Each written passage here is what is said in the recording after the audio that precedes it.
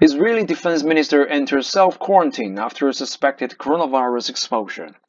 Israeli Defense Minister Benny Gantz has said he will enter self-quarantine after coming into suspected contact Sunday evening with a woman who has tested positive for coronavirus.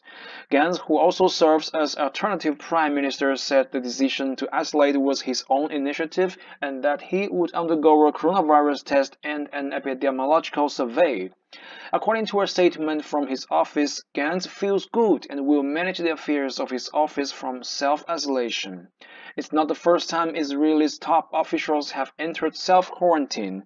Prime Minister Benjamin Netanyahu went into isolation on at least two separate occasions, once in late March and once in early April. Netanyahu tested negative for coronavirus. In addition, former Health Minister Yaakov Litzman tested positive for coronavirus and went into isolation in early April. He has since recovered.